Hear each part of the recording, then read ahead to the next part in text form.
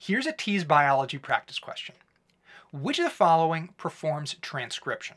Is it A, the ribosome, B, RNA polymerase, C, DNA polymerase, or D, messenger RNA, mRNA? This question is about transcription, which is a super important topic to know for the TEAS. So here's a quick review. Transcription is a step in how cells make protein.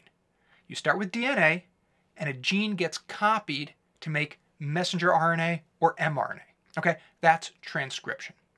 Then the mRNA tells a ribosome how to make protein, and that's translation.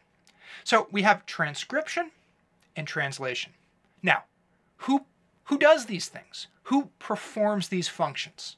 Well, transcription is performed by RNA polymerase, and translation is performed by the ribosome. So the question here asks which performs transcription? And RNA polymerase should pop out at you. But many people get confused by mRNA here. They think maybe that's also correct. But here's the thing mRNA gets made during transcription. mRNA doesn't perform or do transcription. Transcription is performed by RNA polymerase. And that's why the answer here is B.